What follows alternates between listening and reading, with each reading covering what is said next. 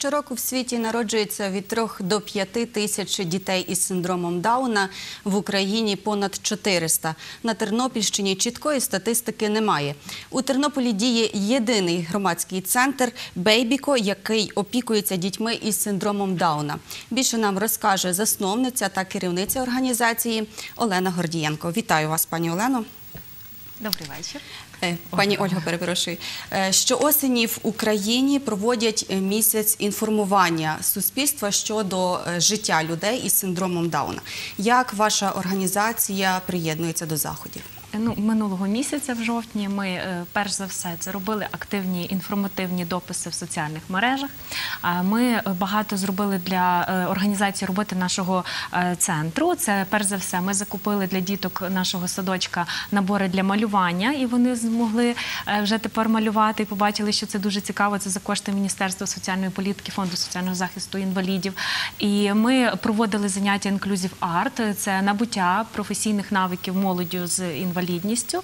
Випікали, зокрема, печиво, кекси. Е, Печиво ми розповсюдили в нашій кав'ярні місцеві. Е, За залучені кошти ми е, я роздавала молоді залучені кошти, щоб вони могли власне щось купити для себе. І також за спонсорські кошти в нас є людина, яка долучилася. Ми закупили професійне сучасне логопедичне обладнання. І тепер наша молодь навіть віком е, 12-16 років зможе робити такі логопедичні вправи, які би покращували їхню вимову і можливість висловитися. Ну так ми цілий жовтень працювали. Ну і відповідно поширювали інформацію, ту, яку е, публікували, скажімо, в Україні організації, які досягли якихось певних хороших результатів. Так і ми теж тим ділилися. Місяць інформування. Що має знати світ про людей із синдромом Дауна? Перш за все, це міф про те, що синдром Дауна це хвороба. Е, Це не хвороба, це є генетична аномалія. Вона не лікується, і це, скажімо, не може якось змінитися протягом життя людини, навіть якщо не лікувати. Так це є е, однозначно мають знати про те, що діти з синдромом Дауна народжуються в будь-якої родини, незалежно від статусу і від е, віросповідання чи е, якогось там ведення способу життя. Це однозначно те, що вони можуть навчатися, вони говорять, і не потрібно боятися з ними спілкуватися.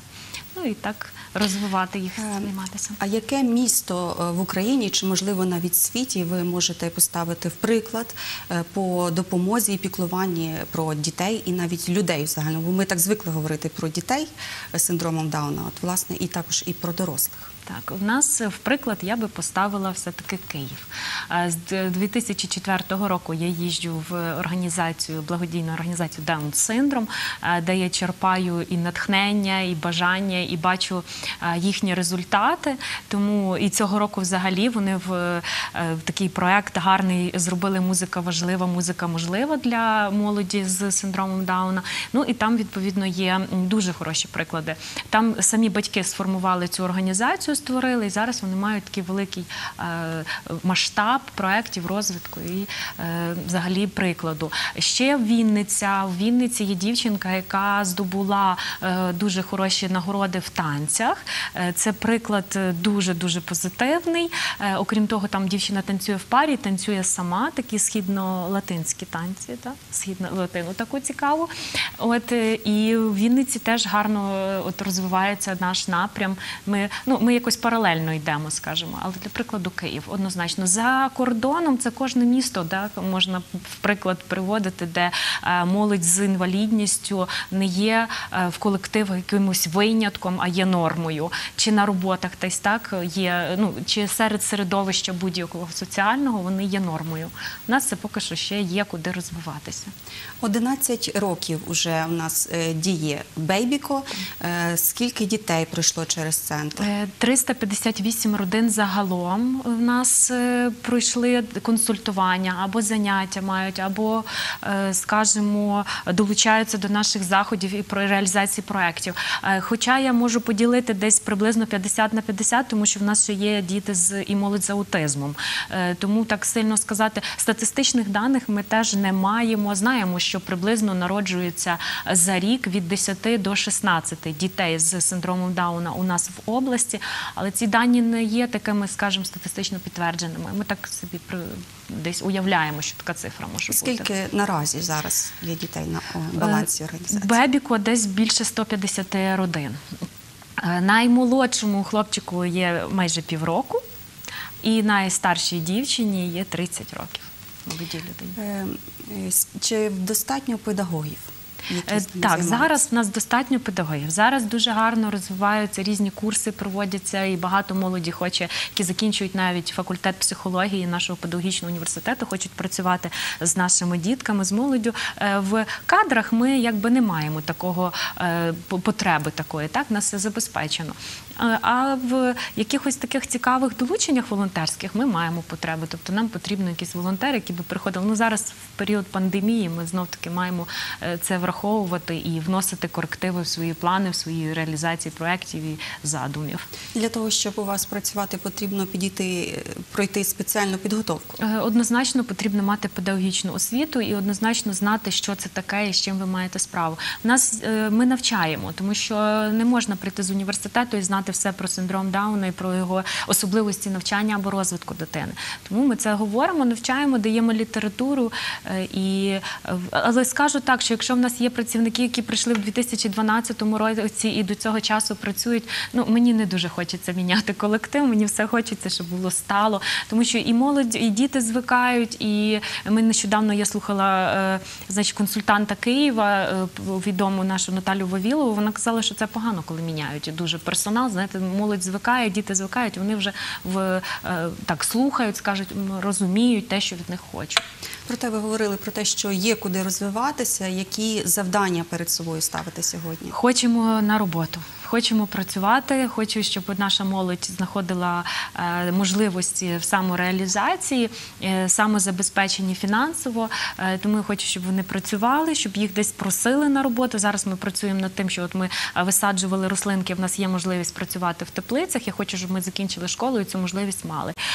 Також є над чим працювати. Це те, щоб інклюзивний процес на садки ще більше розвивався, ще більше дітей з синдромом Дауна було в наших школах, щоб в нас були готові і педагоги, і колективи, і батьки приймати таку молодь і дітей. Ну і що ще, і щоб суспільство, знаєте. Бачачи таку молоду людину або дитину, все-таки посміхнулися. Знаєте, людина посміхнулася іншій любові. Е, Як діти і молодь, яких ще, до речі, називають дітьми сонця, так, сонячними дітьми, як вони вас знаходять? Чи є якісь умови, що потрапити? Е, Ну, до нас умов таких немає. Про нас просто треба дізнатися, прийти до нас Е, зараз трохи складніше, так? Бо треба прийти, мати з собою маску, довідку, розуміти, що нікого не заразити, не наражати на небезпеку, поспілкуватися. Про нас взнають е, і з Києва, приїжджають на консультацію батьки в Київ. Шкода, що так стається, що в нас на місці інколи е, педіатри чи там, наприклад, неонатологи не до кінця інформують батьків про те, що якщо народилася дитина з синдромом Дауна, можна звернутися е, в Бебіко і знайти нас в інтернеті. Якщо навіть загуглити, то нас відповідно виб'є Тернопіль, синдром Дауна. Нас зразу е, якби людина може до нас прийти. Я розумію, що батьки, в яких народилася тільки така дитина, вони ще не готові до спілкування, і дуже часто буває, що це телефонує хтось з рідні, спілкується з нами. Тоді вже десь мама там місяців три, півроку приходить і спілкується вже власне сама. Але чим раніше мама прийде, тим, тим скоріше прийде прийняття цієї дитинки в сім'ю, батьками, перш за все, і тим скоріше починаємо розвиток, е, і відповідно е, найменше є якихось негативних таких наслідків. Розумієте, що там кажуть, якісь там настрашить, настрашить, знаєте, а потім батьків мусимо якось працювати і з того виводити. Що тоді варто знати батькам, е, як діяти, коли вони тільки дізналися, тому що в нас можна дізнатися раніше до народження, що в них от буде дитинка з синдромом Дауна. Ну, в нашому випадку зі всіх родин 99,9% не знали, що в них буде е, дитина з синдромом Дауна до народження. Тільки одна чи дві мами навіть тільки от дізналися. Е, скажу так, що не боятися, якщо мама вагітна і знала, що дитина з синдромом Дауна, дитина буде ходити, дитина буде говорити, дитина буде називати її мамою, тата, любитися і все розвиватися і вчитися, і все буде. Е, якщо вже народилася та така дитинка, то е, все-таки проплакати. Поплакатися і набратися мужності, приходити, спілкуватися, знаходити свою аудиторію. Якщо не зі мною спілкуватися, то є в нас мами, які відкриті до спілкування, які багато допомагають, консультують, інформують. І знаєте, навіть деколи як за ручку водять. От ідемо, я йду і ходи ти зі мною, не сиди вдома. Ну головне не сидіти вдома, не закриватися в цих е, чотирьох стінах. І ну я зараз бачу, що зараз батьки сучасні, вони зараз намагаються виходити з того середовища і е, працювати, працювати якийсь план мати. От ми все прописуємо план, що ми хочемо, де ми хочемо бачити таку дитину, потім молоду людину, і що ми хочемо досягти. Наскільки от важлива така психологічна підтримка батьків? то просто необхідність, як жити, розумієте? Тут треба та підтримка потрібна. Окрім того, що ми допомагаємо психологічно, ми ж допомагаємо і матеріально, фізично, знаєте, якось і консультаціями, і підкажемо, до якого лікаря йти. І от нещодавно до нас мама, коли прийшла з маленьким, то ми навіть отримали гуманітарну допомогу, і повністю весь ящик був просто для новонародженої дитини. І просто віддали все, тому що там ну ідеальне було для розвитку. Це і і сенсорика, це і такий фізичний розвиток. Розумієте, дитинки. Зараз це є. Ну і в принципі я бачу, що і з типовими дітками займаються. Так само потрібно займатися. Не потрібно залишати дитину і щоб вона нібито сама щось собі буде розвивати. Е, Чи є у вас е, групи інтегровані з дітьми Так. без, без Е, Є в нас інтегровані групи, є в нас групи інклюзивні, такі, так скажемо, як ми розпочинали. Зараз вони працюють інакше, ніж працювали до пандемії. І однозначно, що я ро- розумію і бачу, це позитивний приклад, коли типові дітки, однолітки разом в групі з дитинкою нашою сонячною, то вони відповідно не бачать ніякої різниці. Е, Та дитинка сонячна має до кого тягнутися, де брати приклад і наслідувати. А інша дитина типова відповідно розуміє, що це нормально, коли в суспільстві є інші люди, які зовні чи там фізично відрізняються від нас. Маю власних двох синів, які розвиваються вже всі свої роки, живуть разом з е, нашими сонячними. І відповідно, ну не знаю, вони не роз... ну, як бачать, коли фізично, якщо має якісь е, там, скажімо, е, особливості дитина, то тоді вже питаються. Так до них це нормально? Ну це норма, це так має бути. Ми всі особливі, різні. Е, Яка етика в спілкуванні з е, дітьми, з людьми з синдромом Дауна? Е, Так, тут я хочу, знаєте, вам сказати два приклади. Якщо ви бачите, ви йдете по вулиці і бачите якусь поведінку неадекватну, так, молодої людини, навіть не тільки з синдромом Дауна, будь-якою особливістю або з інвалідністю, перш за все, не потрібно пхатися, якщо вас хтось не просить. Потрібно запитатися, чи потрібна допомога. Ви повинні проаналізувати і зрозуміти, що, як правило, оця поведінка це наслідування чогось. Тому ви можете і пожаліти, розумієте? Тобто це означає, що якщо це якась негативна реакція або негативна поведінка, це відповідний наслідок якогось впливу суспільства або середовища, в якому ця дитинка живе. В іншому випадку посміхнутися, як правило, вони всі посміхаються. Якщо ви просто посміхнетеся, ваші очі засвітяться теплом і любов'ю, та людина відповідно це відчує дитина, вона теж посміхнеться, вона теж сприймає, можливо, навіть почне спілкуватися. Вони рідко, коли так от аж дуже е, е, біжать обій- обійматися, знаєте, або торкатися, хоча вони це дуже люблять. Але рідко, тому що наше суспільство, знаєте, якось так людина не подивиться е, е, з любов'ю і вже й не хочеться до неї йти. А так вони люблять спілкуватися. Ви вже дещо е, згадували, пані Ольго, про стереотипи, які нас нав'язує суспільство. От хотілося б, щоб ви деякі спростували. Перший такий міф про людей із синдромом Дауна це ці люди невиліковно хворі, бо в них є хвороба. У них нема хвороби. Це аномалія. Це так, це аномалія. Присутність лишньої хромосоми у 21 парі. Міф номер два: люди з синдромом Дауна не здатні до навчання. Навчаються, співають, грають на фортепіано, танцюють, розказують вірші безподобно, читають і дуже дуже гарно себе поводять.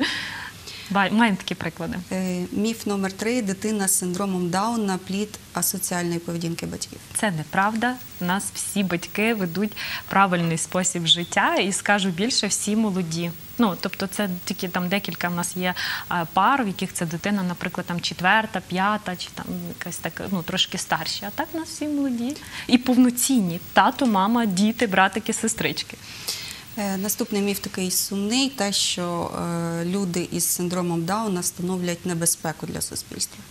Це я кажу, це я те, що навела приклад. Це коли вони живуть в небезпеці для свого власного життя, і коли небезпека ця їм загрожує, вони можуть себе поводити так, як і типові, дати здачу.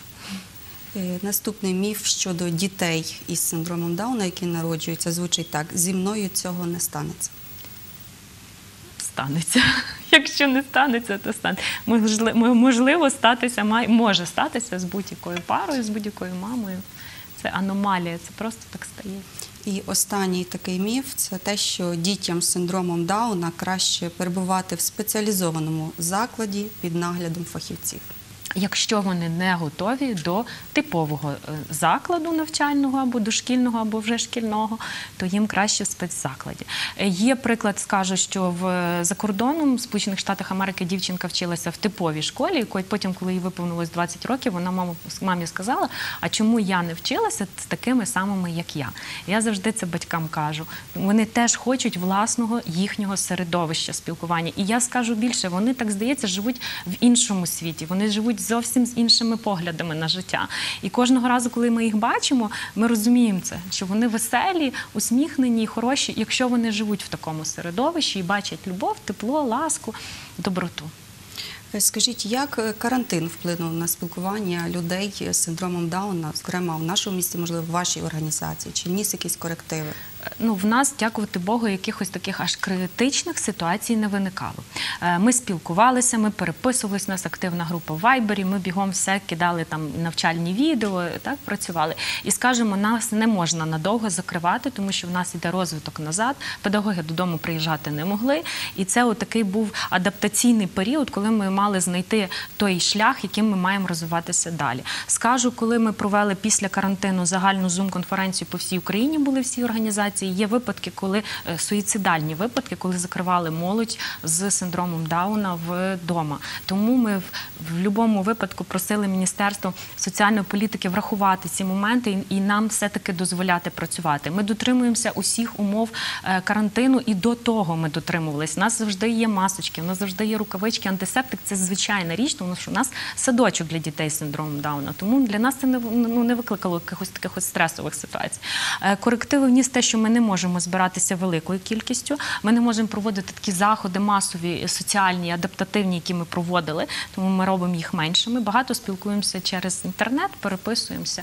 Ну і зараз стараємося е, організовувати роботу проєктів з малою кількістю людей. Е, Ви ставили в приклад е, Київ та Вінницю по роботі з е, такими людьми. Чого не вистачає Тернополю, щоб стати найкращим по допомозі людям Просто часу в розвитку і роботи. Просто ще часу. У нас дуже великий е, стрибок в розвитку з 2008-2010, як ми почали працювати. І нам просто потрібен час для того, щоб суспільство підготувалося до нас. Так, педагоги вже зараз набувають тих навичок і знань, щоб така е, молода людина і дитина могла навчатися в типовому е, навчальному закладі. І тому це просто потрібен час, потрібне розуміння далі, підтримка. Ну, ми з свого боку стараємося, робимо те. Ми пол- популяризуємо місто Тернопіль. Ми показуємо ті проекти, які яких не було в інших містах, таких як Inclusive Art. Це теж приклад Inclusive Fashion Day, наш показ мод, де молодь з інвалідністю е, іде подіумом, так з в супроводі людей поважного віку. Такого ніде не було. Тому ми стараємося популяризувати, розказувати про Тернопіль, його підносити, розвивати. Так і хочеться, щоб нас розуміли, чули. От і я ну хочу подякувати всім, хто нам допомагає, тому що зараз набагато простіше ніж було раніше. От ми логопедичне обладнання, ну просто дуже це дуже дорогі речі. Це навушники одні коштують десь в районі 9 тисяч гривень, і ми вже їх маємо. Ми маємо з чим працювати, ми маємо що робити далі.